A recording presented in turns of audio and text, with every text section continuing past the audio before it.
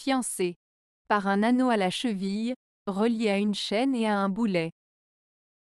Ambrose Bierce. Cette citation se moque de la tradition de la bague de fiançailles en proposant une image absurde d'une personne fiancée, attachée à un boulet et une chaîne. Cela suggère peut-être que le mariage est une prison ou un fardeau pour certaines personnes. Ambrose Bierce était un écrivain satirique connu pour son humour sombre et sa critique sociale.